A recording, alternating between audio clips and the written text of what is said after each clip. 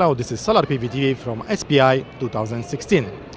And it's so interesting now because we are with together with Dr. Solar, with Dr. Solar, with uh, Charlie Gay, who just became uh, the director for solar technology at uh, Department of Energy in the United States. Uh, I would say in a different way of Sunshot Initiative.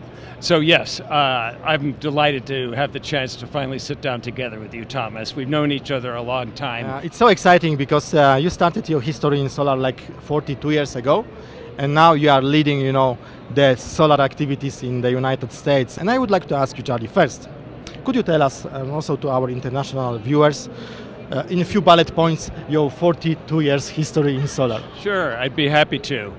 Uh, when I left graduate school, uh, was the uh, just the end of the first oil embargo, and at that time I thought maybe working in solar could be an opportunity for me in the future. And I found a job at a company called Spectrolab making solar cells for communication satellites. And uh, shortly after that, several years after I had been at Spectrolab, the second oil embargo took place. And many large corporations at that time looked into ways to diversify their portfolio of businesses so they wouldn't be so vulnerable to the kinds of change and crises that could come with oil embargoes. And Atlantic Richfield was one of those companies. Uh, ARCO, as it's called, hired me to be the director of research uh, at ARCO Solar. Uh, we built up an organization in the first several years of nearly uh, for the total company, nearly 600 people and about 100 employees that formed the core of our research and development group and our manufacturing effort. Was it uh, the time, sorry, when you uh, launched the first one meg megawatt uh, production line? We accomplished one megawatt in less than one year in 1980. At that time, we were the largest manufacturer of solar cells and modules in the world. And in 1982, we built a one megawatt power plant in Southern California, in the desert, connected to the Southern California Edison substation called Lugo. So today we have power plants with 300 megawatt, for example. Yeah? Yes. So a lot of the design ideas that came out of doing that first one megawatt plant have essentially been scaled, and much of the design ideas that go into today's solar module actually were pioneered back in the late 70s and the early 80s at Arco Solar. Uh, because the durability and reliability that we had already demonstrated has now proven itself for over 40 years. There's still solar modules in the field today that were built 40 years ago and have the same output. So there's a lot that we can do in the design of our modules to make them last a long time. So even it was like an early stage of the technology. This was very early on, and we had a lot to learn. It turns out the most complicated thing was how to get the two wires out of the module, the plus and the minus, and to do that without having problems with corrosion or um, stress on the interconnects at that termination point. And we ended up solving a lot of that, especially with collaboration with our customers who gave us a lot of good feedback about what worked and what didn't. So then uh, you are in Siemens. Uh Yes, Arco Solar, uh, we formed two joint ventures in the middle of the 1980s. One for Asia with Showa Sekiyu, which uh, ultimately became Showa Shell, and one in Europe for Europe and Africa with Siemens. Uh, our two joint venture partners helped us expand our markets in the rest of the world that we couldn't really serve readily from the US. And um, in the uh, time period of 1990, Arco Solar was acquired by Siemens Solar, and I moved from being the president of Arco Solar to president of Siemens Solar. And what about uh? Actually, because you are also at NREL. Yes, I was director of the National Renewable Energy Lab during the first Clinton administration, and uh, joined at a time that uh, people were very interested in adapting the uh, strategic planning methods that were common in industry to the strategic planning that national laboratories could apply to our uh, practical needs across the U.S. And Charlie, I would like to ask you because uh, you are following up, let's say, this not only energy change but also social change uh, within the industry in, in the United States but also in other countries. And how would you describe the people, the pioneers who were starting solar, and if you compared, uh, compare them to the people who are in solar now? I would say uh, we, sh we share a common dream that that vision of seeing solar deployed across the world. Uh, when, when I got started in solar, I was especially interested in bringing electricity to people in developing countries and areas that didn't have access to electricity. And that's where our markets were during the first 25 to 30 years of my career. And today, it's delightful that no matter where you live, you can use solar. Uh, and the people that I meet today, some of them have only been in the industry for six months or, or less than a year, but they bring the same passion and enthusiasm that the early pioneers had. Okay, Charles, so now let's um, speak a bit about your new job. Yes. So uh, could you tell us, uh, to our viewers, also international viewers, uh, something more about uh, Sunshot Initiative and also about the efforts of your uh, department um, uh, within the Department of Energy? Yes.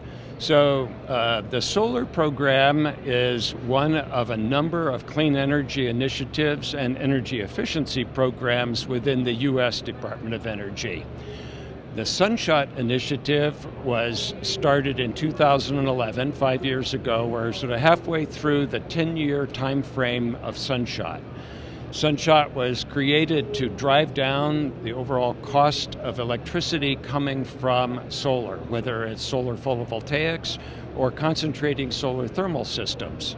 So the group that I am responsible for works in both of those broad brush areas and um, it turns out uh, that not only is my background appropriate from the photovoltaic side, but as a graduate student, I spent 10 years working on the thermodynamic properties of fluids, critical uh, point materials like xenon and CO2, which today are very important for optimizing turbine design used in concentrating solar or any other um, energy uh, generation uh, form that uses a turbine. So I've uh, had, it's uh, only the third week that I've been in my role here, but already had a great opportunity to get to know people that are uh, in the Sunshot team. Uh, have been, some of them have been working there for over 25 years, bring a huge history of experience. And within the Department of Energy, Sunshot can coordinate and collaborate with grid modernization initiatives so that a lot of the opportunity for accelerating the scaling of solar will be possible because we're at the hub of where these kinds of interconnections of technology, of grid infrastructure, of information systems that are so critical for today's grid can be brought together in a, in a very effective and efficient way. And uh, what about, uh, let's say, the, the um, activities supported by Sunshot? Is it only technology-based activities or also awareness activities? Sunshot, um, over the course of its history, has been involved in awarding over 500 different contracts. Today, over half of those are still active in our engagement, and it covers the spectrum from the basic science associated with understanding the fundamental underpinnings that uh, relate to the performance of materials for solar, all the way through to deployment applications, um, covering uh, areas that um, might be possible by mobilizing community solar, for example, uh, saving on the inverter costs, uh, the balance of systems as we call it, how you mount a, a solar panel and uh, most cost effectively wire them together or permitting costs, soft uh, costs as they're referred to in general, that uh, may benefit from seeing best practices that are applied across the U.S., where we have over 3,800 different utilities and over 18,000 different jurisdictions. So each of these areas, it's like a matrix, is evolved in a in a very uh, complex, interwoven way that uh, we're seeking to simplify, streamline, and enable the use of information systems to share best practices as rapidly as we can. But you are only focusing on the United States or you are also collaborating on the inter international level? We have our principal focus is here in America. Uh, it's American taxpayer dollars that are being spent by the Department of Energy to help advance the use of solar in the U.S. But much of our learning has a, an impact on the rest of the world. We do have collaborative connections in our international group in the Department of Energy that link to solar. So the solar team has uh, connections in Brazil, in India, in Australia, in many countries where the lessons and insights that one part of the world can develop and learn can be shared in our own use, or vice versa, where what we've learned about being able to deploy solar at a, at a ever faster rate, we can help the rest of the world adopt those best practices. I know that you believe that solar can be like uh, solar renewables can be like 100% of energy. Would you like to also bring this vision to the Department of Energy? Ultimately, we'll need the sun to power everything. So there's no question that the use of solar is uh, important for the long haul.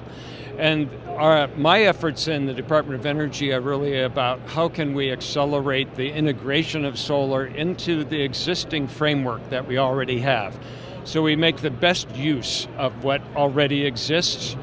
In many locations across the U.S., in a utility, the power plant may contribute only 40% of the capital cost, and the wires that connect people, 60 the infrastructure. 60% of the cost is associated with wire.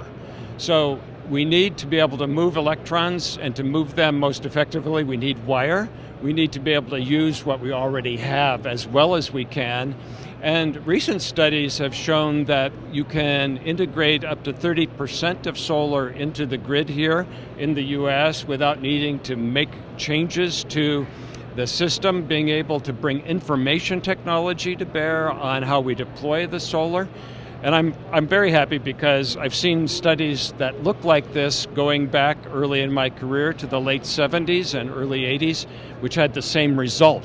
So each time uh, an organization has been involved and looking at and evaluating how much solar can we put in the grid, it's come up pretty much with the exact same answer. So I'm confident that we can put a lot of solar in the grid.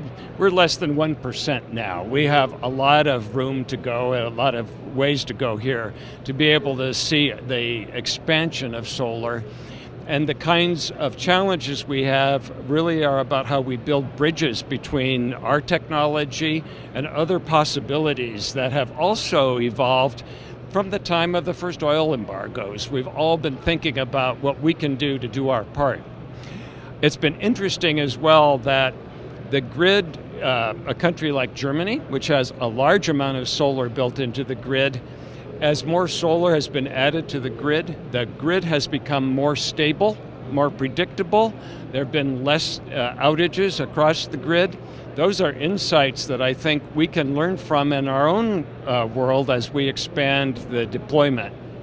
So uh, recently we are visiting India, Brazil, China, and I remember like five or six years ago I was speaking with Ron and I asked him, Ron, do you believe that uh, US will become the largest, the most important solar nation? And actually now China would like to become the biggest solar nation, even India. And uh, I'm not sure if US uh, still has the ambition to become the largest solar nation? Well, I certainly would love it for every nation to expand the use of solar, uh, without a question. Uh, we, we pay close attention to what's happening in the state of Hawaii here in the U.S. because it's really a test bed for massive adoption of solar. One out of six homes in Hawaii already has a photovoltaic rooftop. So, learning how to use the solar that we have already in the grid from the rooftop systems, together with the existing grid, an island state like Hawaii is a great platform for us to learn lessons that can be expanded uh, in other it's parts like, of like, the like a showcase. Yes, it's a, definitely a showcase. It's a uh, an area where my grandfather was born actually out at the end of the Hawaiian island chain, and the the small island called Ni'ihau, which is just beyond Kauai, was the first island to be totally solar powered in, in the Hawaiian Islands. So I'm very pleased to have the legacy that my ancestors, who still solely live on that island, were the first to adopt solar for the entire island, and they all speak native Hawaiian. Wow. So it's a. So I think that your grandfather legacy to have. Your grandfather would be proud that now uh, his grandson is, uh, let's say, spreading solar energy into the whole country. Yeah? I like to think so. okay, Charlie. So it was a very interesting uh, talk. Just I would like to ask you the last question because uh, you are one of the visionaries, yes. And I would like to ask you not only maybe like in the United States, but also on a global level. Uh, when let's say solar will become like a mainstream energy and what still needs to be done solar is certainly mainstream now because so much of the new uh, generation capacity being added to the grid is solar. Well over a third of new electricity here in the US is solar. And the challenges that we have relate to how best to use the rest of the assets that exist, the grid assets, the distribution network, because we're working with distributed energy resources. The sunlight shines everywhere, and so it's distributed and it's available to everybody.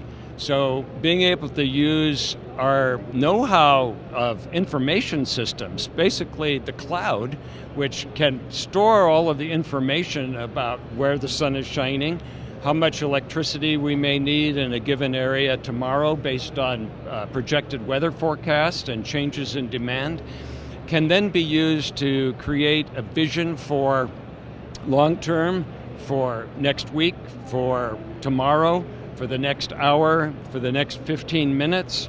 Our ability to uh, help the operators of the network have access to the information, I think, is one of the keys to ultimately succeeding here with expanding adoption of solar.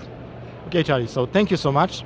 And it was really a pleasure to speak to person who is a history of solar and now is helping to build the future of solar in the country. Thank you so much. Thank you, Thomas. It's been a pleasure to get to sit here and, and chat with you and the rest of the viewers. Thank you so much. That was Solar PV TV together with uh, Dr. Solar, with Charlie Gay, who now is in charge of the solar technology at uh, Department of Energy in the sunny United States. Thanks for watching.